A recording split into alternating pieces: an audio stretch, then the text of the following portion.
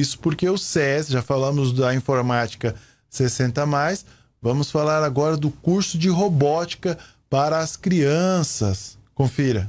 O objetivo deste curso então, esse curso é um projeto da OCESE de Três Lagoas e também da Prefeitura de Três Lagoas. E ele é voltado para crianças de 7 a 11 anos, é, para toda a comunidade, preferencialmente para crianças de escola pública. E ele visa atender a criança como um todo, para desenvolver o cognitivo, o raciocínio lógico, a probabilidade de desenvolver o raciocínio rápido na resolução de problemas enfim, socialização, ele é muito importante para o desenvolvimento da criança como um todo. Este curso acontece a partir de quando e qual horário? Esse curso acontece de segunda a sexta-feira, no período contrário ao da escola. Se a criança estuda na parte da manhã, ela faz o curso de robótica à tarde. Se estuda à tarde, ela faz o curso de robótica na parte da manhã. Agora, Gláucia, vale lembrar que o SESI tem duas estruturas aqui para atender essas crianças.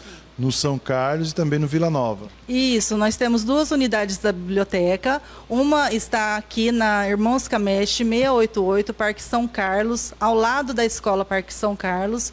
E a nossa outra unidade fica no, na rua José Almilcar, Congro Bastos, ao lado do Senai, no Vila Nova. Agora, Gláucia, o SESI ele é voltado para a indústria.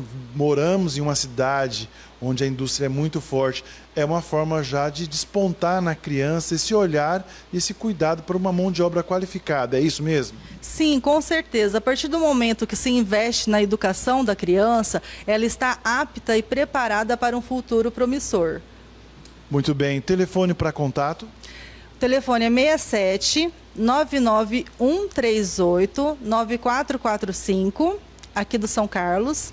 E do Vila Nova, o telefone é 67 99135 0275. Fala com a Cibele no Vila Nova.